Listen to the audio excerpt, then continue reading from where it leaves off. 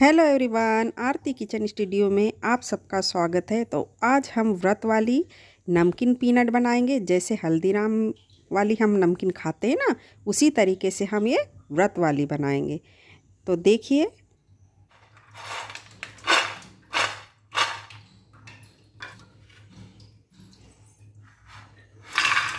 तो सुन रहे हैं ना आवाज़? बिल्कुल इसी तरीके से करारी वाली चटपटी हम नमकीन बनाएँगे और ये बहुत ही स्वादिष्ट बनती है।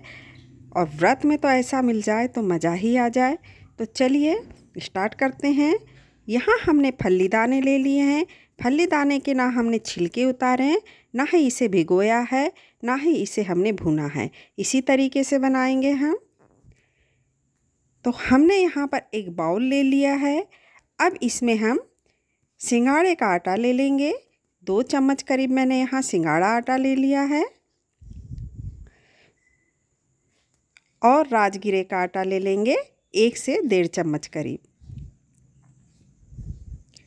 हम यहाँ व्रत वाले बना रहे हैं तो व्रत का ही सामान उपयोग करेंगे। तो हमने यहाँ राजगिरे का आटा और सिंगाड़े का आटा बराबर बराबर मात्रा में ले लिया है।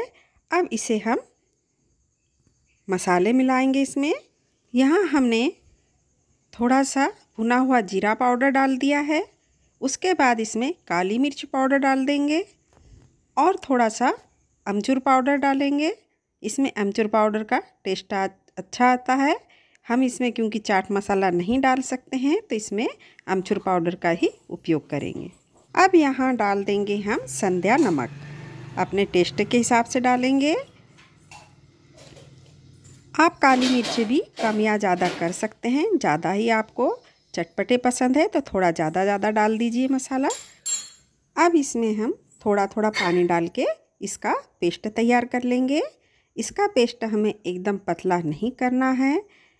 हमारे फली दाने इसमें लिपट जाए। इस तरीके से इसका पेस्ट बनाना है हमें।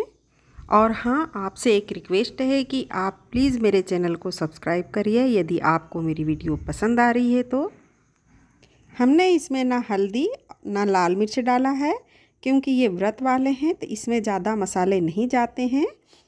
इसी तरीके से बनाया जाता है और टेस्ट में कोई कमी नहीं रहेगी इसमें। आप बिल्कुल बहुत शौक़ से खाएँगे और बार बार इसे बनाएँगे। और यकीन मानिए, इसे व्रत वाले ही नहीं, सभी मांग मांग के खाएँगे और आपको हर बार बनाने की फरमाइश करेंगे। तो चलिए, ये हमारा पेस्ट बन के तैयार हो चुका है। बस इसी तरीके से रहना चाहिए।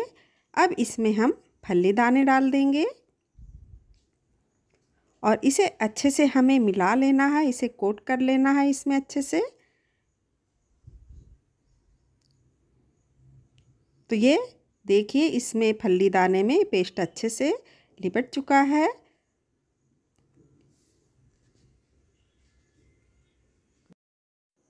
तो अब ये हमारा तैयार हो चुका है। इसे हम तुरंत ही तलेंगे। इसे रेस्ट करने की कोई ज़रूरत नहीं है। तो अब यहाँ हमने कढ़ाई में ऑयल डाल दिया है। ऑयल हमें फली दान फली का ही डालना है।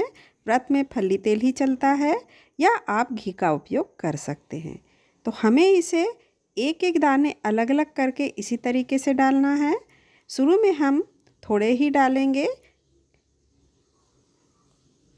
इसे चिपकने का भी डर रहता है तो हम एक एक करके ही इसे डालेंगे।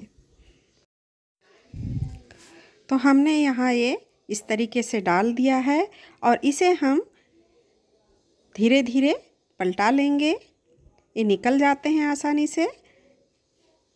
तुरंत चम्मच ना चलाएँ इसमें। थोड़ा सा होने दें हल्का सा और ज़्यादा एकदम हाई फ्लेम पे गैस नहीं रखना है हमें। मीडियम ही फ्लेम पे रखें ताकि हमारे अच्छे से फली दाने भी अंदर से करारी हो जाए और ये करारे हो। तो बस इस तरीके से हमें सेक लेना है।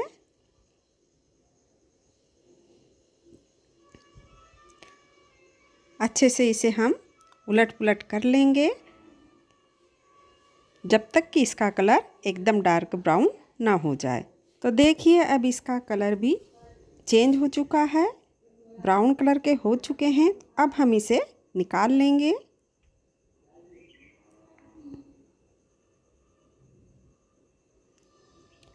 और बाकी के भी हम इसी तरीके से डाल के निकाल लेंगे।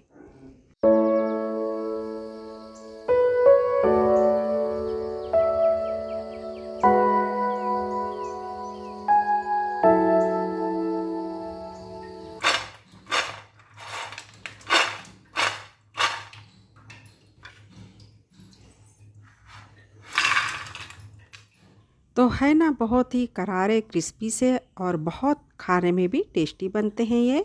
तो इसी तरीके से व्रत में बनाइए, आप सभी को ये बहुत पसंद आएगा। तो अगर आपको मेरी वीडियो पसंद आ रही है तो प्लीज़ एक लाइक करिए।